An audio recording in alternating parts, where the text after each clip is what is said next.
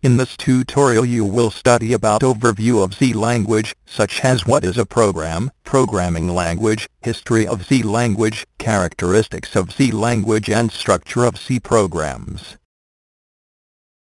What is a program? Software is collection of programs, and a program is collection of instructions or codes given to the computer. And with the help of a program, we can perform various tasks by the computer. Program is used to control the behavior of a computer, so in this case it is known as a computer program. Programming language To write a program we need a programming language.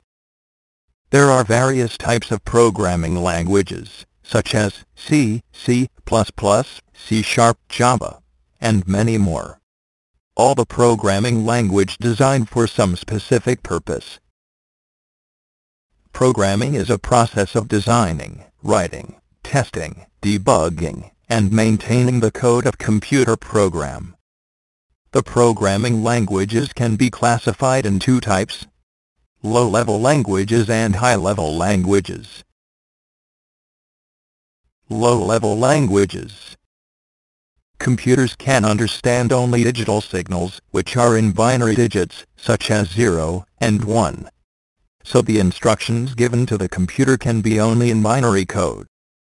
And computer can understand only machine-level language. The machine-level language consists of instructions that are in binary. The low-level languages are related with the hardware, hence the execution of a low-level program is faster High-level languages Writing a program in machine-level language is a difficult task, because it is not easy for programmers to write instruction in binary code. That is why high-level languages were created. High-level languages are English-like languages. And it is easy to write and understand the programs of high-level language, for translating a high-level language program into machine-level language program, a compiler or interpreter is used, and every language has its own compiler or interpreter. History of C language The C language was developed in 1970s at Bell Laboratories by Dennis Ritchie. Initially it was designed for programming in the operating system called Unix. C is the result of a development process that started with an older language called BCPL. BCPL was developed by Martin Richards. Then B language was adopted from BCPL, which was developed by Ken Thompson. And after that, B led to the development of C in the 1970s. Today, C is the most widely used and popular system programming language Characteristics of C language C is very easy to learn and it produces efficient programs. C is a middle-level language. C is called a middle-level language because it has the simplicity of a high-level language as well as the power of a low-level language. This aspect of C makes it suitable for writing both application programs and system programs. The programs written in C are portable. Structure of C language C support the structured programming method for writing its programs.